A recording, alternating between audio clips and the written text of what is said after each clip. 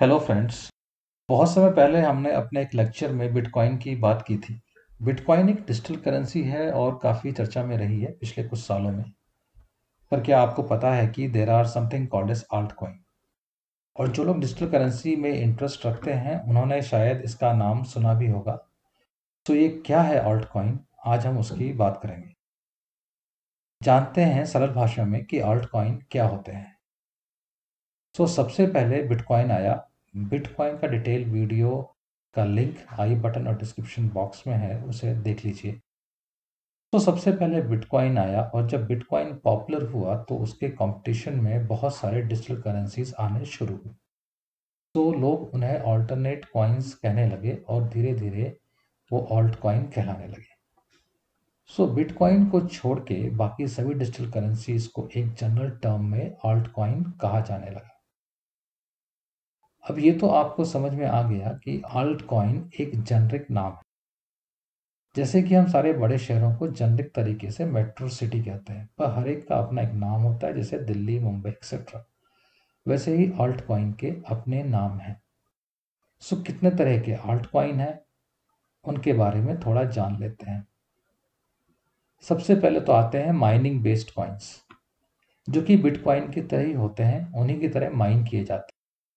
यानी कि आपको अपने कंप्यूटर पे कुछ कॉम्प्लेक्स मैथमेटिकल प्रॉब्लम सॉल्व करने होते हैं, जिसके बदले में आपको कॉइन दिए जाते हैं। अब वैसे तो बिटकॉइन सबसे बड़ा कॉइन है इस तरह का, लेकिन दूसरा एग्ज़ाम्पल आप इथेरियम ले सकते हैं और इसे हम माइनिंग बेस्ड कॉइन के कैटेगरी में डालेंगे। अब आते हैं दूसरे नंबर के, दूसरे टाइप के कॉइन्स पे, जो है स्टेबल कॉइन्स स्टेबल कॉइन एक प्रकार की क्रिप्टो करेंसी है जिसका मूल किसी अन्य संपत्ति जैसे कि यूएस डॉलर हो गया या सोना हो गया उससे आकी जाती है। सो सोने से भी आकी जा सकती है।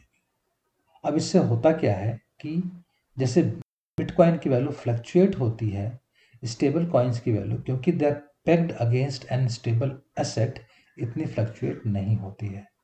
सो so, इनकी वैल्यू जो है वो स्टेबल रहती है। एग्ज़ाम्पल के लिए टेरा यूएसटी है और टेरा यूएसटी यूएस डॉलर के अगेंस्ट में पैक्ट है।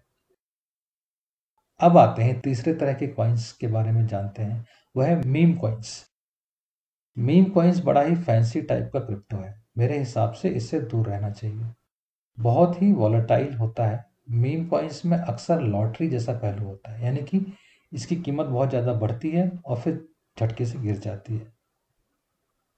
इंटरनेट और सोशल मीडिया पर मीम्स या चुटकुलों से प्रेरित होकर ये क्रिप्टो करेंसी निकाली जाती है। बहुत इसका अच्छा एग्ज़ाम्पल है Dogecoin D O G E जिसका कोड है डॉक कॉइन सो दोस्तों, ये थी जानकारी आल्ट कॉइन के बारे में। उम्मीद करता हूँ कि आपको अब डिफरेंस समझ में आ गया होगा कि बिटकॉइन और ऑल्ट कॉइन दो डिफरेंट टर्म्स क्यों है, इन दोनों में क्या डिफरेंस है। होपफुली ये लेक्चर आपके लिए इन्फॉर्मेटिव रहा। ऐसे ही अन्य लेक्चर या वीडियो के लिए आप हमारे चैनल को सब्सक्राइब करना ना भूलें।